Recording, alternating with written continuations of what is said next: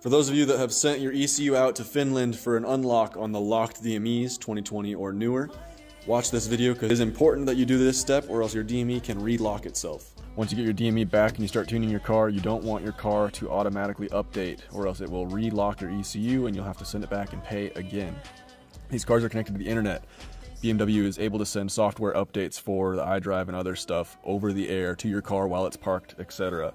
Uh, so to turn this feature off, which you will need to do unless you want to just pay for a new DME unlock every once in a while, and go to car in your iDrive, settings, general settings. You're gonna go all the way down. I'm gonna start at the top so that you can too. All the way down to this data privacy section. You're gonna turn off the all service part and we're gonna go down to an individual selection. Now, all this stuff you can do on your own if you want any of this off, it doesn't matter.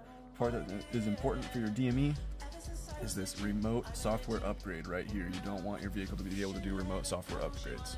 That will relock your DME. I also turned off all of this stuff on my settings. You want to just copy it.